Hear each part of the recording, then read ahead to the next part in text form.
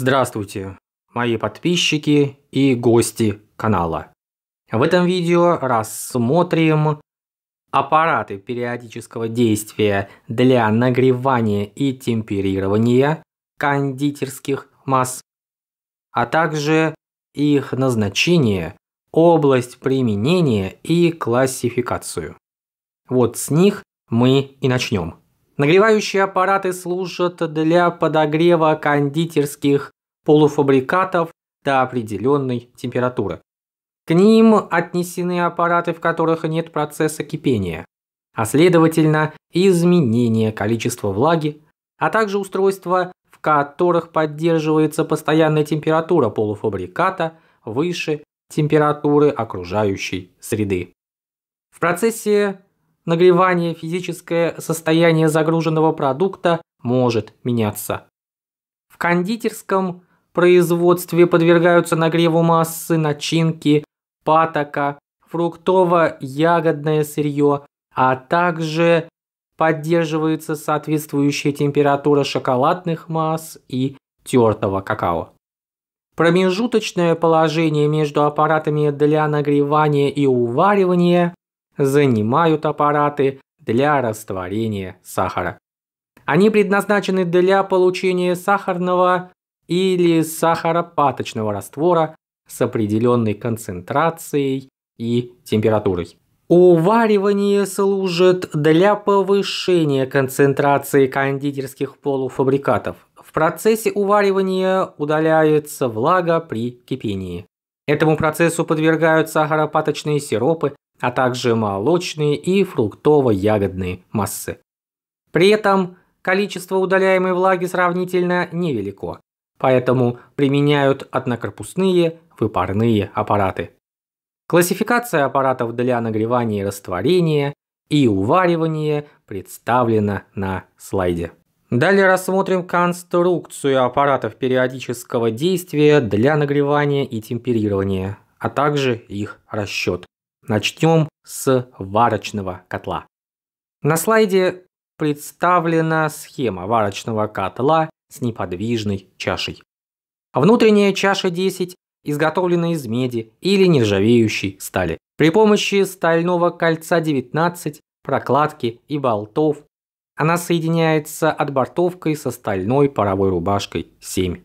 Полость между чашей и рубашкой образует паровое пространство. В рубашку поступает пар. На подводящей линии установлены манометр 3, предохранительный клапан 4 и запорный вентиль 5. Конденсат отводится из наинизшей точки парового пространства через штуцер 13. При пуске и в процессе работы воздух из рубашки периодически выпускают через кран 17, расположенный в наивысшей точке парового пространства. После загрузки котла массой закрывают люк 16. Открывают воздушный кран 17, продувочный кран на конденсатоотводчике или обводной линии и пускают пар, открыв вентиль 5. Продувку парового пространства производят до тех пор, пока из кранов не пойдет сухой пар. После этого закрывают продувочные краны, включают конденсатоотводчик и увеличивают поступление пара. В процессе нагревания наблюдают по манометру 3 за давлением греющего пара и по манометрическому термометру 2 за температурой массы. Подогретая масса выгружается через штуцер 12, для чего рукояткой 1 поднимают клапан 11. Котлы снабжаются мешалками 9 для увеличения равномерности прогрева вязких веществ. Приводной электродвигатель 8 шарнирно соединен со станиной 18 и своим весом создает необходимое натяжение ремней 6. Иногда натяжение увеличивается дополнительными грузами и пружинами. Крышка 15 котла имеет загрузочный люк 16 и трубу 14 для отвода пара. Варочный котел может быть открытым, то есть без крышки. При шарнирном соединении котла со станиной Нагретую массу выгружают через борт поворотом котла вокруг горизонтальной пустотелой оси при помощи штурвала. Подвод пара и отвод конденсата у таких котлов производится через пустотелые оси. В рубашке таких котлов от пустотелой оси к наинизшей точке опускается трубка, по которой паром выдавливается конденсат. Темперирующий сборник. Схема сборника, применяемого для хранения шоколадной массы, тертого какао и начинок, представлена на экране. Цилиндрический сосуд 18 имеет пароводяной обогрев. Открывая вентили 1 и 7, заполняют рубашку сборника водой. Как только вода станет вытекать из сливной трубы 4 в воронку 5, закрывают вентиль 7 и открывают вентиль 6 для циркуляции воды и вентиль 11 для автоматической добавки холодной воды при повышении температуры. Затем, открывая вентиль 8, пускают пар в инжектор 9. Проходя через инжектор, пар засасывает воду из рубашки сборника через открытый вентиль для циркуляции воды. Смешиваясь с холодной водой, пар конденсируется, и полученная теплая вода поступает в рубашку. Температура воды в рубашке повышается. Лишняя вода стекает через сливную трубу 4 в воронку. Манометрический термометр 2 не только регистрирует температуру воды в рубашке, но и является датчиком для мембранного клапана 12. При повышении давления в капиллярной трубке 3 мембранный клапан открывается, и через него в рубашку сборника помимо инжектора дополнительно поступает холодная вода. После снижения температуры в рубашке упадет давление над мембраной, и поступление холодной воды через клапан 12 прекратится. При остановке сборника сначала закрывают паровой вентиль 8, а затем все остальные. Слив воды из рубашки сборника производится через вентиль 10. Загрузку темперирующих сборников производят насосами и вручную, через верхнюю крышку 19 с ручкой 20 и упором 22. Разгрузка сборников осуществляется через патрубок 16. Все кондитерские массы имеют большую вязкость и малый коэффициент температура проводности. Кроме того, некоторые массы, тертая какао, шоколадная масса, склонны к расслаиванию, поэтому их следует энергично перемешивать. Для этой цели имеются мешалки, рамная 15 и пропеллерная 13. При вращении червячного колеса 14 вращается вал 17 мешалки внутри трубы. С этим валом жестко связана поперечина 21, на одном конце которой находится рамная мешалка, а на другом конце шарнирно закреплен вал пропеллерной мешалки. На этом валу жестко посажена шестерня 24, катящаяся при вращении водила по неподвижной шестерне 23. Пропеллерная мешалка совершает два вращательных движения. Одно вокруг собственной оси и второе вокруг оси вала 17.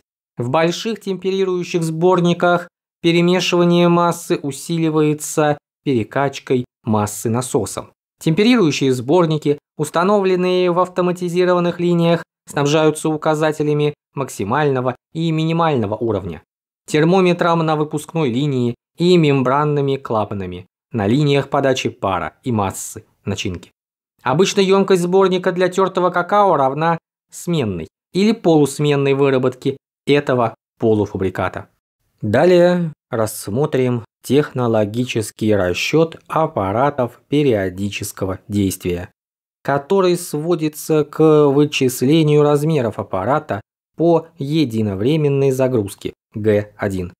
Если вместо единовременной загрузки дана производительность, то единовременная загрузка рассчитывается по формуле, представленной на экране. Также на экране представлена формула для расчета полезного и полного объема аппарата. От полного объема переходят к конструктивным размерам аппарата, задавшись его формой. Для аппаратов периодического нагрева Потребное количество пара D большое рассчитывается по формуле на слайде.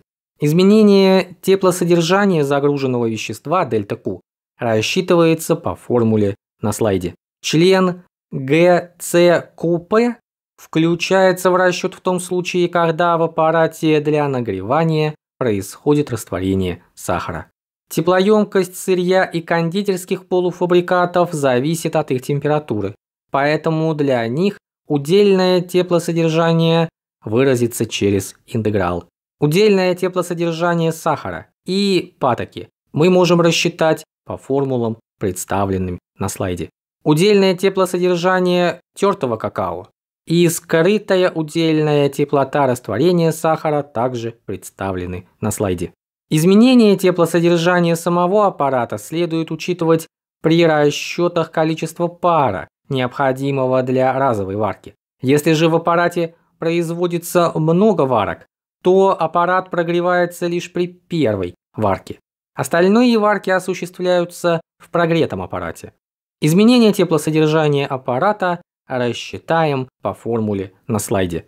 Для темперирующих сборников при отсутствии подогрева темперируемого вещества и длительной работе потребное количество пара вычисляется по формуле, которую вы видите на экране, при условии, что дельта Q и дельта QA равны нулю.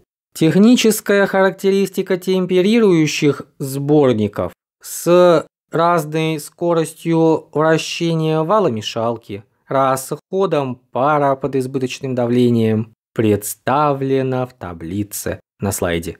Техническая характеристика открытых варочных котлов с поворотной чашей представлена в таблице на слайде. Напомним, что открытые варочные котлы могут применяться и для уваривания в тех случаях, когда длительная выдержка увариваемого вещества при высокой температуре не ухудшает качество продукта.